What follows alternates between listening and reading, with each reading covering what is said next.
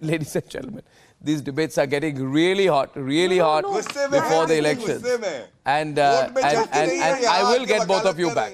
I, you know what viewers are saying? Arnab, oh, Viewers are saying, or Arnab, viewers are saying, or Arnab, it's not even 40 degrees in Delhi yet.